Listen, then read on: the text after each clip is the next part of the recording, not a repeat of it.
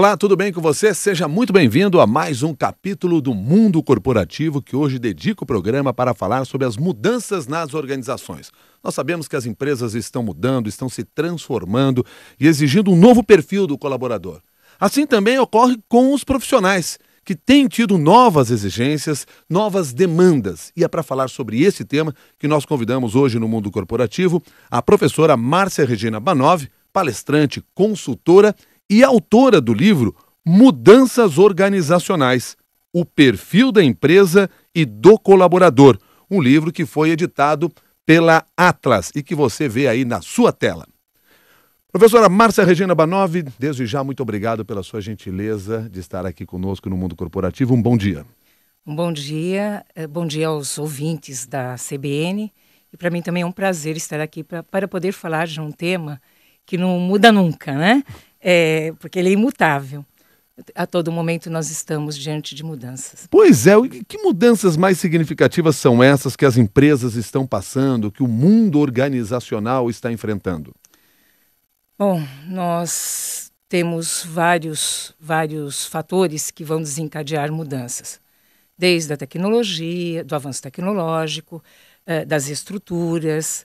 Eh, hoje nós temos algumas novidades que é a implantação da sustentabilidade, uh, da diversidade da força de trabalho, uma exigência maior com relação à criatividade, novas formatações de trabalho, principalmente em decorrência do teletrabalho.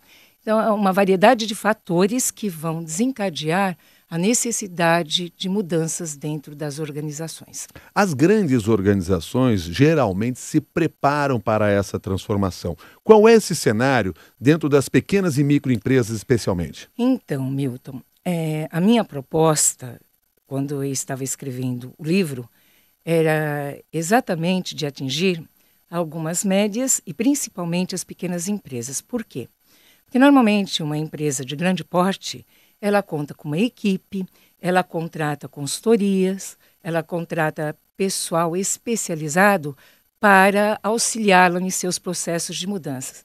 E normalmente a empresa de grande porte, ela dificilmente tem recursos é, para é, essa contratação e para poder desencadear realmente um, um, uma mudança. Então a proposta é mostrar, principalmente para as empresas e para quem está iniciando, uh, em, quem está iniciando, seja na faculdade ou dentro da própria empresa, processos de mudanças, mostrar que aquilo que as grandes empresas fazem também pode ser feito pelas pequenas empresas.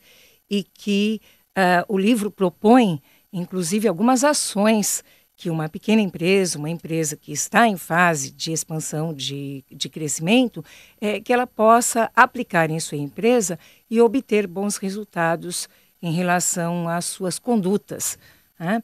E, principalmente, é, eu foco muito, em praticamente todo o livro, a necessidade de um planejamento para a mudança. Né? Então, assim, se eu tiver um planejamento, é, eu minimizo riscos, eu preparo o meu pessoal e, e vou em direção a uma mudança com a probabilidade de um resultado bem mais satisfatório. Por serem pequenas e micro as empresas sobre as quais nós estamos conversando, especialmente nesse momento, é mais fácil se adaptar a estas mudanças? Olha, eu diria para você que se adaptar às mudanças é, não é fácil, independente do porte da, da empresa. Né?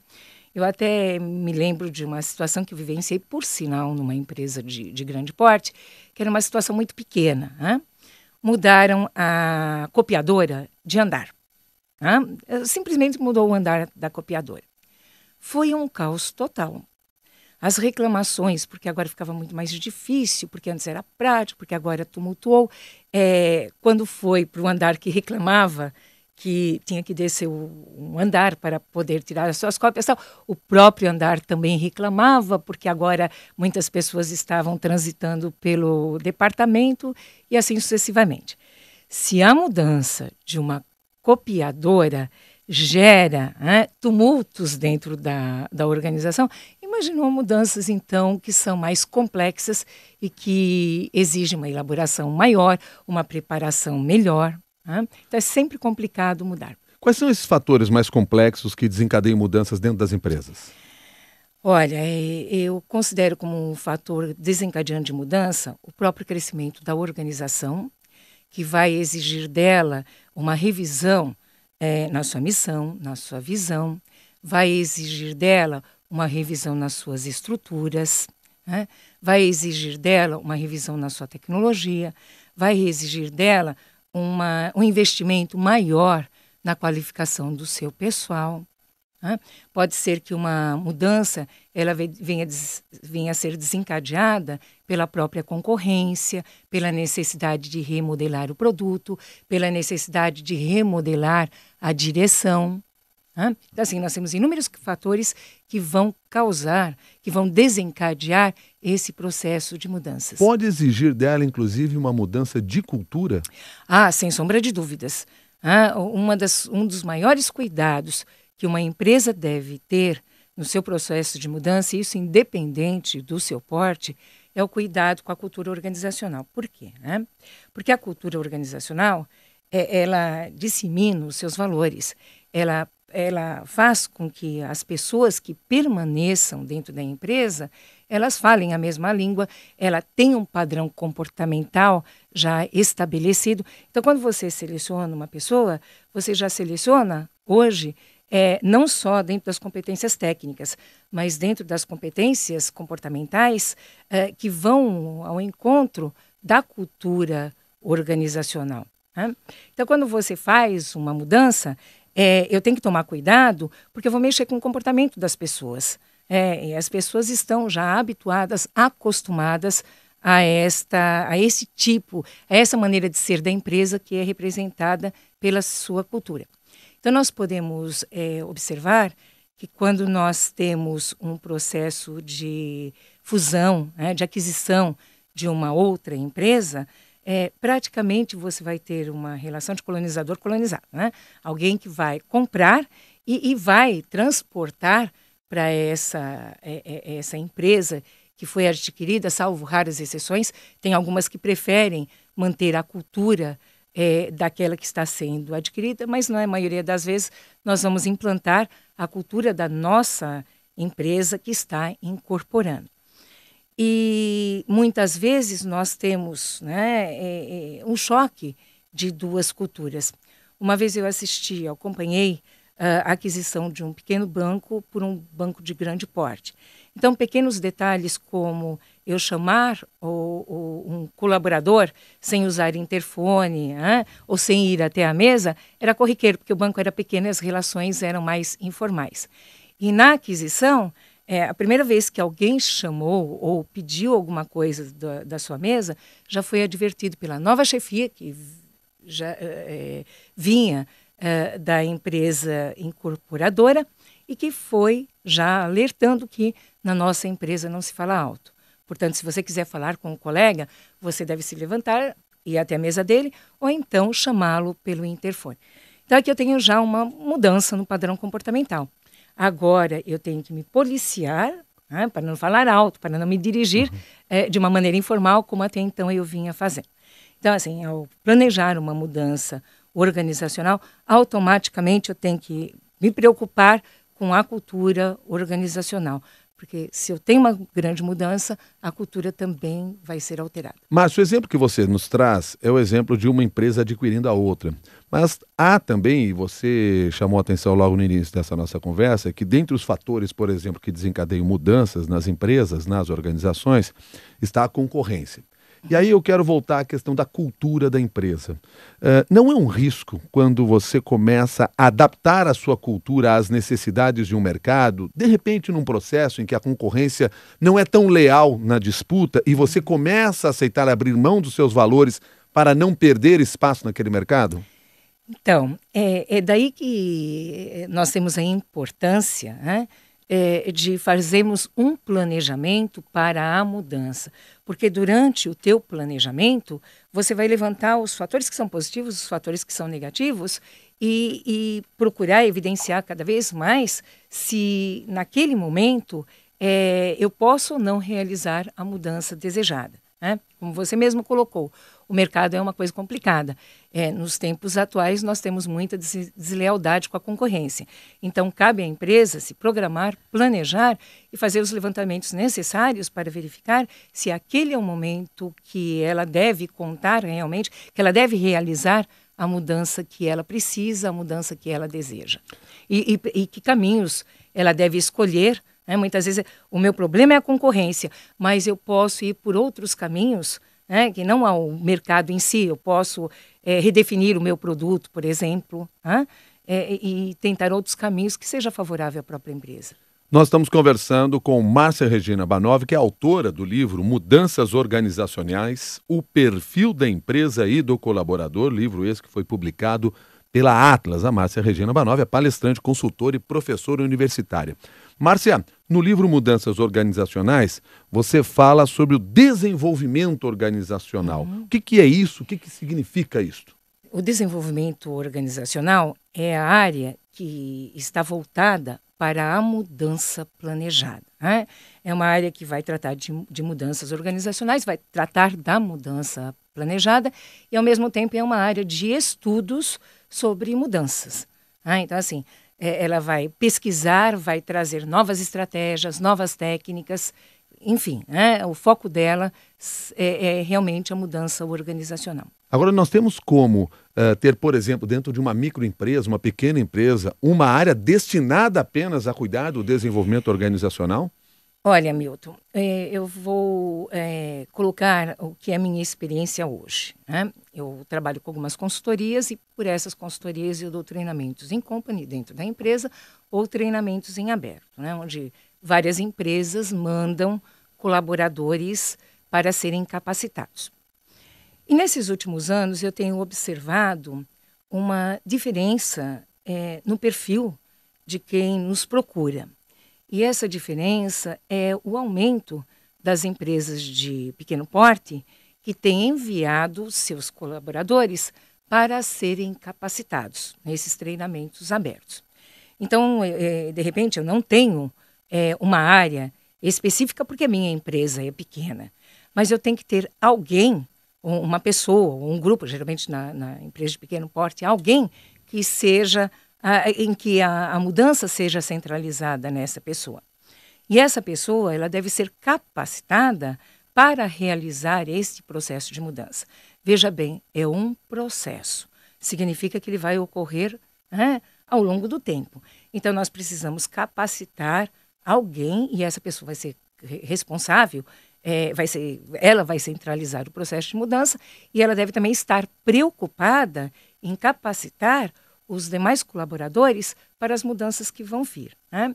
E aí tem dois pontos que eu considero fundamentais. É o processo de comunicação. As pessoas devem ser comunicadas o que vai acontecer das etapas que estão previstas, né? é, é programadas é, para serem realizadas. A valorização da pessoa e mais uma terceira, desculpe, que é a capacitação. É, hoje nós não sobrevivemos sem capacitação, seja a empresa, seja o profissional.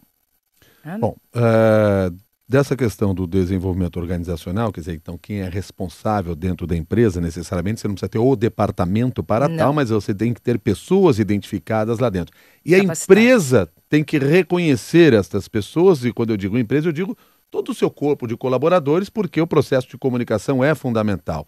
Essa é uma comunicação diária que tem que ser feita, é uma conversa diária para se evitar, por exemplo, aquele diz que, diz que não disse, Sim. aquelas informações que às vezes correm pelos corredores e a gente não sabe direito o que, que está acontecendo dentro da empresa e causam um tremendo transtorno. Ah, olha, eh, os meios de comunicação de, da mudança são os mais variados. Né? Eu conheço empresas que começam a preparar o, o seu pessoal já enviando pela intranet é, pequenos artigos que falam sobre mudança, que falam sobre os resultados da mudança, da importância eh, de hoje estarmos preparados é, para ambientes que são flutuantes. Né?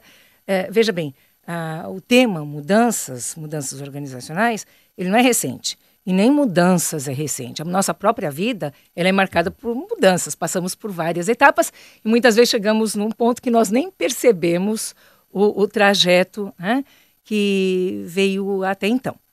Uh, o que vai mudar na atualidade é a velocidade com que as mudanças estão acontecendo. Uh, nós estamos assim num momento ímpar, onde as mudanças ocorrem muito rapidamente. Mal você se habituou com o processo, um novo processo já está acontecendo. Olha, eu fiquei assim é, espantada quando meu filho perdeu o celular e eu fui ver um novo celular com ele. Né?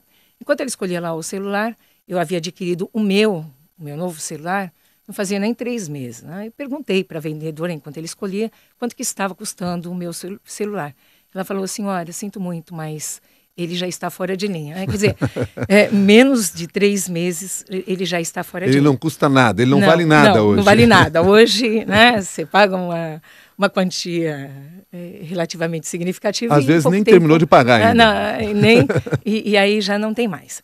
Então, assim, eu, eu vejo que é, essa necessidade de comunicação contínua com as pessoas é no sentido de conscientizá-las né, de que a mudança é inevitável e que nós já estamos sofrendo processo de mudança desde que nós nascemos. Só que nós não nos damos conta, ou seja, nós não temos essa consciência, mas a consciência de que é, é, a mudança vai acontecer na empresa, essa não vai ser a única e que mudanças é, vão acontecer sempre.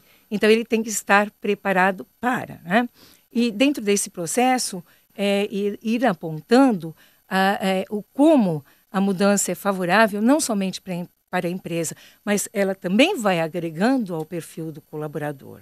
Né? Então, esse aprendizado que eu tenho hoje, ele não fica na empresa, eu vou levar ele embora junto comigo. Né? Então, assim, na verdade, é o que nós chamamos de resiliência. Né? Nós temos que é, fazer as pessoas se tornarem mais resilientes, é, serem, é, abraçarem as oportunidades, serem menos resistentes e abraçarem a oportunidade da, da, que a mudança vai trazer ao seu próprio perfil. Então, esse processo de comunicação ele é assim importantíssimo. Agora, vale também pontuar algumas coisas da nossa experiência.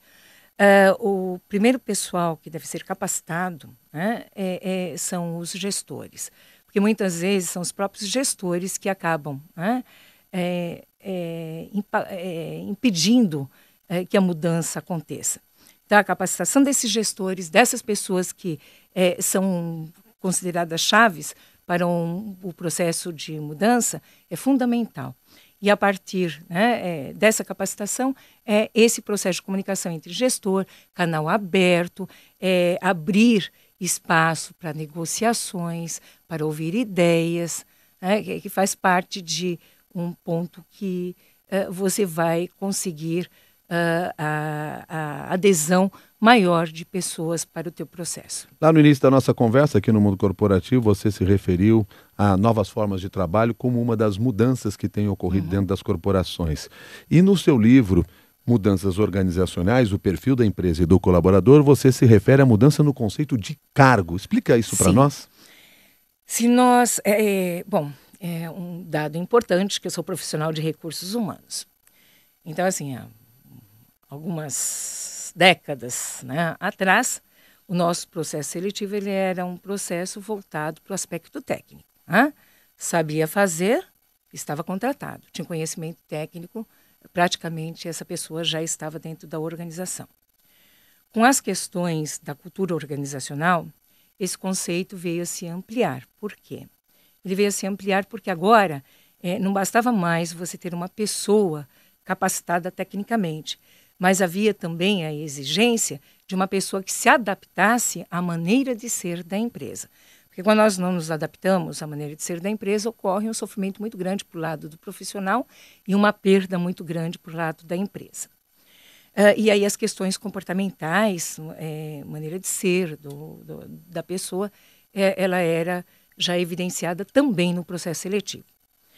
Bom, hoje nós tivemos um passo maior é, que além de ter uma pessoa é, que tenha competência técnica, aliás, hoje se espera que a pessoa venha para um, que venha para um processo seletivo, ela já traga essa competência técnica, que tenha um comportamento adequado à cultura, ela tem que ter competências atreladas né, às competências organizacionais. Para quê?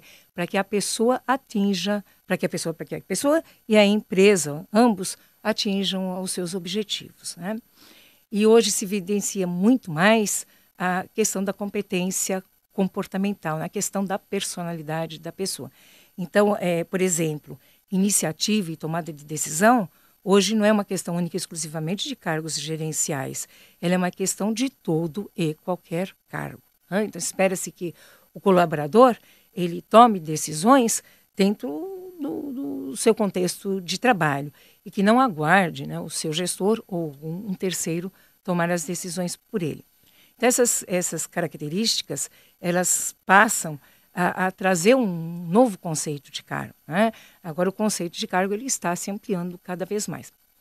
Eu até vivenciei uma situação muito interessante quando eu fui dar um curso em um outro estado brasileiro em que eu né, precisei uh, fazer o uso do, do, do avião. E eu me lembro que eu me sentei ao lado de uma senhora, ela era ex-comissária de bordo. E aconteceu um incidente né, é, no avião antes dele decolar. Primeiro que à nossa frente havia uma mulher de mais ou menos 40, 40 e poucos anos de idade, que ela não parava. Então ela tinha que chamar uma pessoa, depois ela chamava outra, e pegava coisa, e descia, ia, ia para frente, voltava tal. E nesse meio tempo, é, uma senhora que estava sentada no banco da frente, né, na, na primeira fileira, ela disse que estava passando mal. De imediato, essa senhora que estava na frente saiu do seu lugar e disse: Pode deixar que eu vou cuidar dessa, dessa senhora. Aí a comissária perguntou a ela: A senhora é enfermeira, é médica? Ela disse: Não, não, não, não, mas eu já estou acostumada a cuidar de pessoas idosas. E ali se sentou. Bom, foi um tumulto porque os que foram chegando queriam os seus lugares. Né? E, no fim, a, a, a, a, a condução da situação não estava mais nas mãos da comissária, ficou nas mãos de uma passageira. E a senhora que estava ao meu lado, ela fez esse comentário. Puxa vida, como falta liderança nos profissionais hoje, como uma passageira né, pode ter tomado conta de uma situação tão delicada. Esta senhora nem deveria sair de terra. Né? Então, foi assim, uma situação que é, mostra é, que, de repente, se eu não trouxer isso, né, alguém vai fazê-lo. Né, e, e, muitas vezes fazê-lo de maneira adequada. Então, são assim pequenos detalhes que você vê. É, é, mesmo as perguntas que hoje nós fazemos na seleção de pessoal, ela também, elas também foram se alterando. Então, por exemplo, perguntas que você fazia gestores, hoje nós fazemos para qualquer cargo. As pessoas respondem dentro do seu contexto e já mostram né, o, o quanto dessas dimensões comportamentais elas vão trazer para a empresa. Márcia, como nós estamos falando aqui de carreira, cargos, eu queria aproveitar para trazer a pergunta uma, da ouvinte internauta Valéria, que pelo Twitter escreveu o seguinte: Num mundo em que modelos de sucesso são facilmente derrubados, como lidar com o planejamento de carreira, levando em consideração todas essas mudanças que existem dentro das organizações? Hum. Bom, nós temos assim é, é, eu não diria que mudanças, né, mas uma evidência maior do que está sendo o planejamento de carreiras hoje. Então nós temos assim um equívoco no senso comum de acreditar que você só cresce dentro de uma organização se você subir de cargo. Né? É, hoje nós trabalhamos muito em cima de carreiras é, que nós chamamos de horizontais. Né? Eu tenho um determinado cargo, eu sou boa nesse cargo, eu exerço com excelência né, é, as atribuições que demandam desse cargo. Então, é, o planejamento de carreira horizontal é fazer com que a pessoa cresça né, dentro do próprio cargo que ela está. Né? E, e, então, assim, é, de novo, uma questão de nós trabalharmos os conceitos. Né? É, então, assim, embora você tenha toda é, um, um meio de comunicação é, que traga né, é, a valorização mais pra, pra, para que você cresça é, verticalmente, hoje outras, outras, não hoje, mas essas modalidades estão crescendo muito mais. Né? E também tem um detalhe que eu considero importante. É, muitas vezes é melhor você manter um bom técnico do que fazer desse técnico um líder né, ou um gestor em que você vai perder os dois. Você vai perder tanto o gestor como perder o técnico. Né? Então, assim, nós precisamos rever. Uh, nós nos baseamos muito em modelos de grandes empresas e nos esquecemos que uh, o maior número de empresas não se referem às grandes empresas. Na verdade, em termos percentuais, é, elas têm um percentual que não é tão elevado assim. Então, nós temos que nos questionar. Um, uma coisa básica no processo de mudança também é não copiar a mudança alheia. Né? É, por isso, a necessidade de planejamento. Então, eu vou ver pra, é, dentro da minha empresa o que é mais viável eu fazer, seja no que diz respeito ao planejamento de carreira, é, seja na, no, na distribuição de cargos, seja no tipo de procedimento, de estratégia que eu vou utilizar no processo de mudança. Por isso a importância do planejamento que eu vou repetir inúmeras vezes no contexto do livro. Aí o gestor está nos acompanhando aqui e diz assim: é verdade, nós precisamos nos planejar, nos preparar para essas mudanças. Eu tenho sentido isso lá dentro da minha empresa, mas até agora não tomei nenhuma atitude. Um rápido passo a passo, de maneira resumida, evidentemente, é, para este gestor. Quer dizer, o que, que, ah, quando eu vou fazer esse planejamento para as mudanças organizacionais, é. eu tenho que pensar em que aspectos para que o trabalho tenha um resultado positivo lá no final? Tá. Nós trabalhamos muito em função daquilo que nós chamamos de diagnóstico organizacional. Né? A primeira, o primeiro passo é averiguar o que é que os administradores eles desejam. Né? Qual é o motivo, qual é a mudança para que lado caminha, né? o que desencadeou essa necessidade de mudança. O segundo passo é esse contato entre os gestores e os administradores. Os administradores eles devem deixar claro para os seus gestores o que eles desejam, né? o que eles estão, é, é, o que eles têm em mente, como eles estão planejando este processo de mudança. Os gestores, por sua vez, né, vão ter que coletar dados juntamente com os seus colaboradores. É, é, não só coletar dados, mas é, é trabalhando estes colaboradores para que possa é, realmente é, dar andamento ao seu processo de mudança. nós costumamos usar um instrumento chamado medida de clima organizacional né, para poder averiguar como este colaborador ele vê a empresa, como esse colaborador vê o seu gestor, como esse colaborador vê as práticas, políticas e práticas de recursos humanos, as políticas e práticas de gerenciamento de pessoas. Então, as empresas que têm implantado essas pesquisas de clima, nós já temos assim um referencial para saber né, o que é que nós precisamos trabalhar primeiro com os colaboradores para iniciar o nosso processo de mudanças. Ah. Ou seja, essa, essa medida de clima organizacional ela é tirada a partir de entrevistas. São técnicas de entrevistas que são desenvolvidas. Não, eu, olha, Quais são os caminhos é, para que isso é, aconteça? A, a, pesquisa de clima organizacional, é, eu vou trabalhá-la com entrevistas, eu vou trabalhá-la com questionários. Nós temos, assim, algumas medidas que são importantes, que são índices de absenteísmo, são as horas paradas, faltas, atrasos, saídas antecipadas. Nós vamos trabalhar com índices de rotatividade, né? é, para que a gente tenha assim uma visão né? é, de como estão as relações humanas dentro da empresa.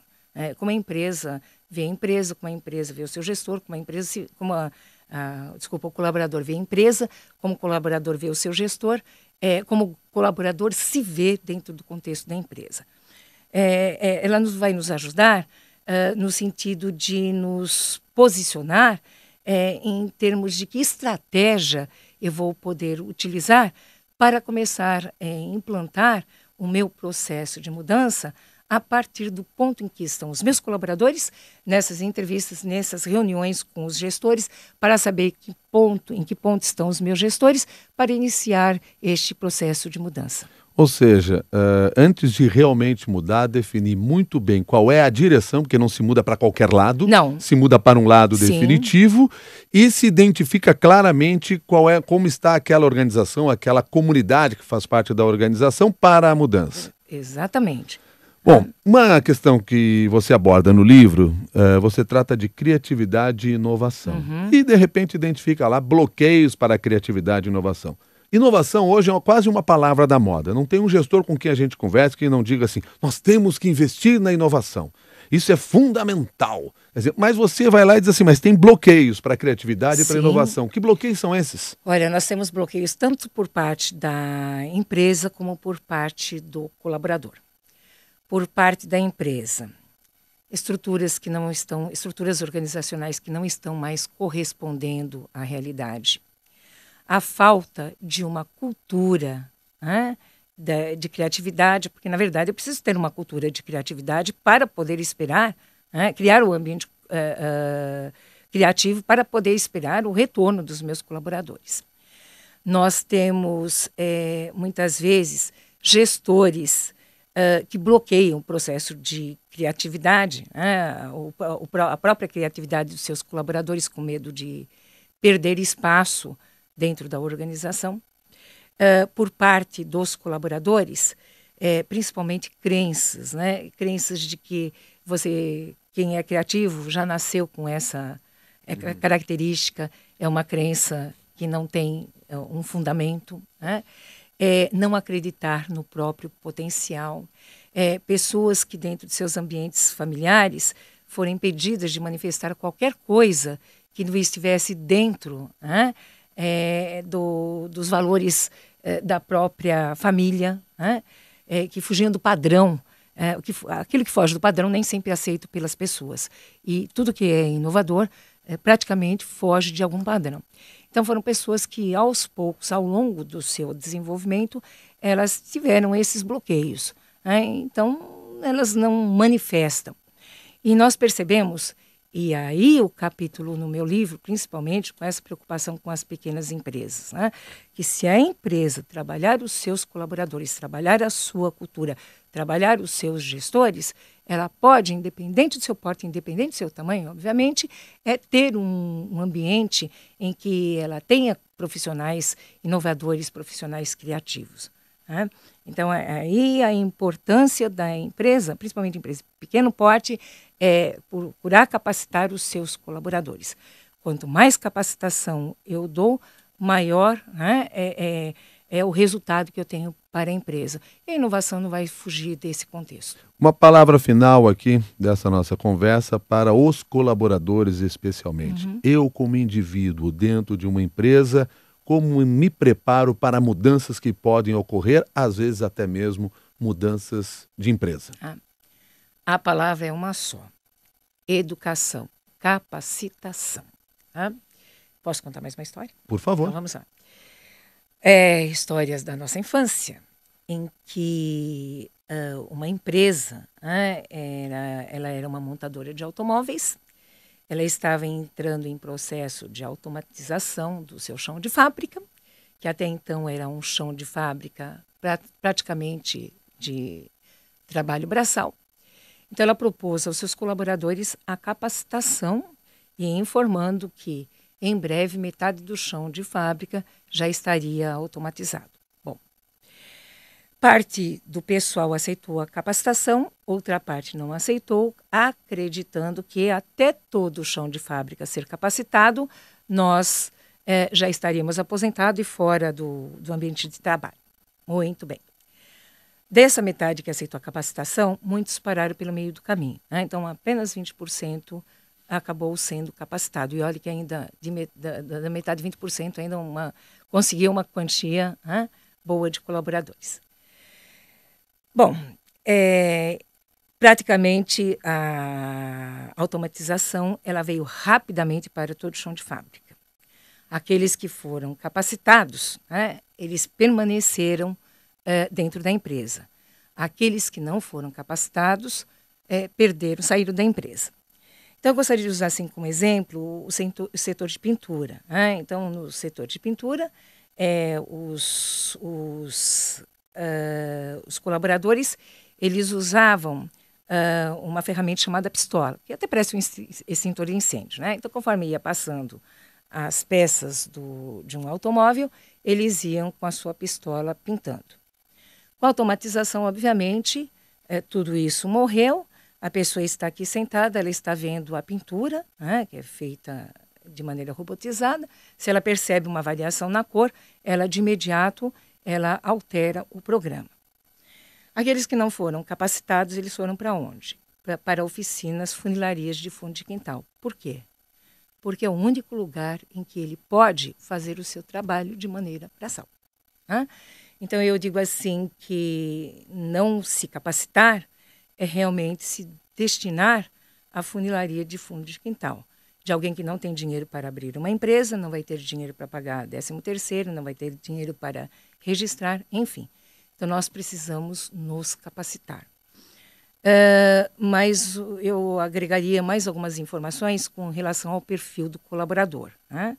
Então, hoje, além da competência técnica, né, além de competências comportamentais, as empresas estão apreciando aqueles colaboradores que são socialmente responsáveis, ecologicamente corretos, que saibam trabalhar em outras formatações, como trabalho à distância, como consultor interno, que vem crescendo a cada dia, né? e que estejam sempre em busca de, de capacitação. Então, a capacitação ela é primordial para estarmos sempre é, preparados para esse mundo que, em que as mudanças vêm acontecendo de uma maneira muito acelerada. Márcia Regina, muito obrigado pela sua gentileza de conversar conosco, trazer aqui um pouco desse seu amplo conhecimento nesta área de recursos humanos, nesta área de mudanças organizacionais, que foi o tema desse nosso mundo corporativo. Obrigado e até uma nova oportunidade. Eu é que agradeço a oportunidade de estar aqui. Muito obrigado. Márcia Regina Banov é autora do livro Mudanças Organizacionais, o perfil da empresa e do colaborador, livro esse que foi publicado pela editora Atlas. A você que participou desse mundo corporativo, o nosso muito obrigado também e até o próximo capítulo.